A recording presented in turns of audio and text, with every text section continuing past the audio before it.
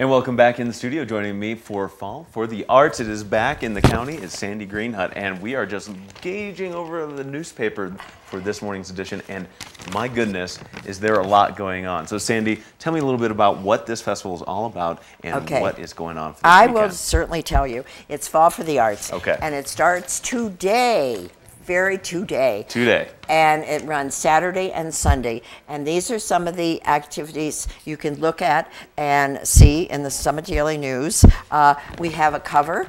Uh, and it's really cute, I think, because I got 14 of my 24 organizations to pose in costume. Mm-hmm. Okay, and so you'll have to figure out who everybody is in this Are you in this picture. photo? Oh yes, I am, and nobody can figure out who I am. I think I have an idea. I- I'm not telling at all. And then on the back are all the organizations, uh, members of Arts for the Summit, which sponsors this, okay? And so today we have, I'll just open this up so your audience maybe can see this.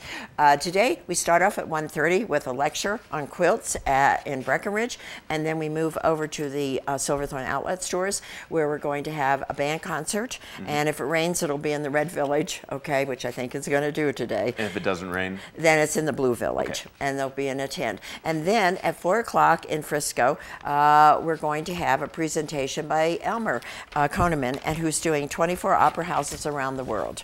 And uh, then it's a wine and cheese first at three, and then at four, and then at seven is our Piece de Resistance, our big one, and it includes, which I maybe you can get this. It's the dancer, commotion dancers, the Summit Community Orchestra, the uh, Summit Choral Society, and an art gallery, and they're all uh, performing free at seven o'clock.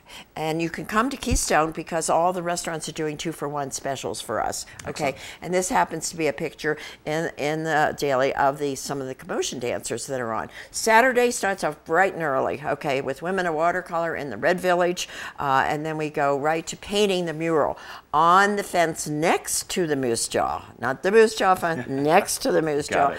And Janet Elich is in charge of that, Summit County Arts Exhibit Committee. And she's going to be outlining it today. She already primed it. And I sent notices around to all the schools so we can have little kids painting on the bottom, big people on the top. And we hope to finish. If we don't finish, then we'll do it uh, on Sunday. Uh, and then we go into uh, the Children's Mountaintop Children's Museum is going to do a free craft show. Two o'clock is a form, uh, putting it together by Lake Dillon Theater, and it's free. And you'll find out how they do mount a production. Nice. Uh, so and and also at two o'clock at the Silverthorne Library there is a puppet show and it's called uh, Hair Raising Tales. Okay, and it's for the kids and the kids will love it. And then at four o'clock we have two events.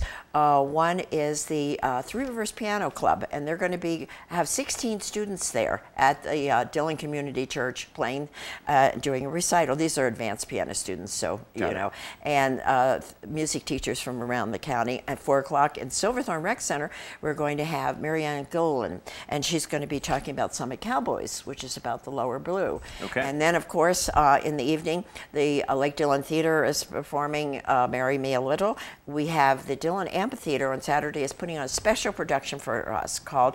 Um, Something underground, something underground. That's actually what it's called. There you go. something underground. Sunday, we're just move right into it with Women of Watercolor, and then we're having a portrait painter at the Red Village and at the outlet malls. Two o'clock is the big recital called Sagebrush uh, Strings, and it's at the Lord of the Mountain Church. It's put on Summit Public Radio, and uh, then in the evening it's Alpenglow Chamber.